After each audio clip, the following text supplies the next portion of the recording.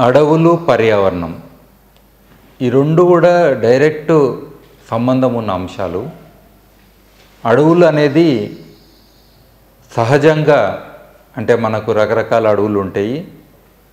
అవి కారుణ్య చిట్టడవులు అంటే పెద్ద పెద్ద మాన్లు ఉన్న అడవులు క్రూర మృగాలున్న అడవులు అలాంటి ప్రదేశాలు కొన్ని ఉంటాయి. కొన్ని అడవులు ఏందనంటే మామూలుగా శ్రబ్బీ జంగల్స్ అని అంటాము. అంటే ఒక సైజు చెట్లతోటి ఉంటాయి చిన్న చిన్నగా అట్లా. కొన్ని గ్రాస్ ల్యాండ్స్ కూడా ఉంటాయి మనకు.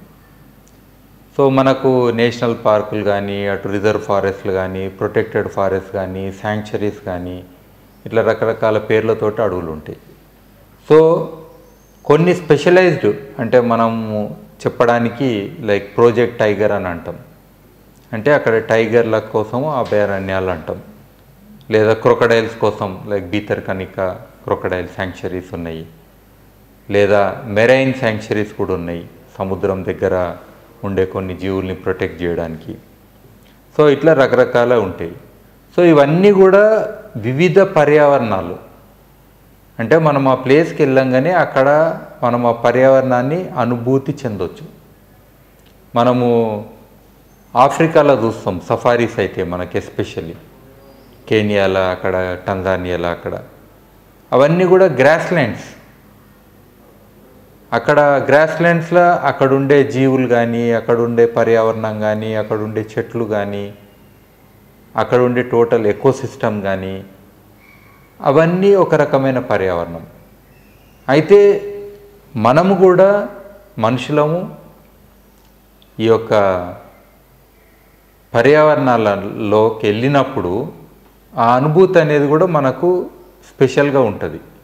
ఆ మెమరీస్ కూడా స్పెషల్గా ఉంటాయి. ఏ పర్యావరణానికి వెళ్తే అక్కడ అనుభూతి మనకు స్పెషల్గా ఉంటుంది అన్నట్టు సో ఇట్లా డిఫరెంట్ అడవులు డిఫరెంట్ పర్యావరణాలు.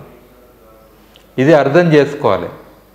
ఎందుకనంటే చాలామంది మనము ప్లాంటేషన్స్ చేస్తుంటాము.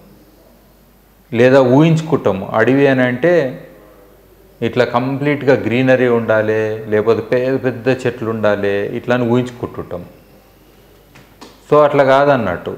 సో అన్ని పర్యావరణాలను మనం రక్షించాలి అన్ని ప్రదేశాలను మనము వాటి గురించి ఆలోచన చేయాలి. ఆ జీవ వైవిధ్యమే ఈ ప్రపంచం. ఒక పర్యావరణం లేదు ఇంకొకటి మనుగడ ఉండదు. అట్లా ఎన్నో జీవులకు కూడా సంబంధం ఉన్నది.